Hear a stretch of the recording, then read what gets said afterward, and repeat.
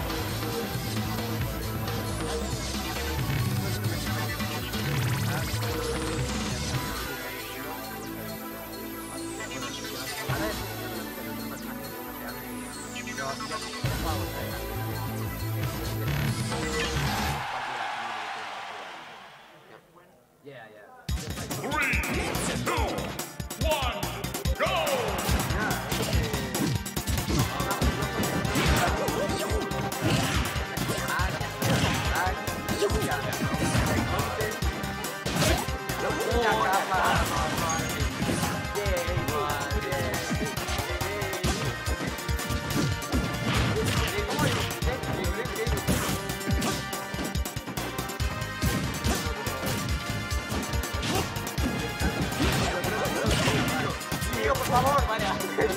Tío, no. Quiero la familia.